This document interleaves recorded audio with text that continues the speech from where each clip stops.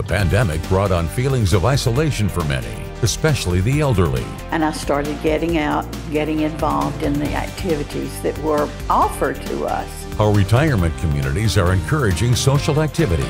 Tonight at 6.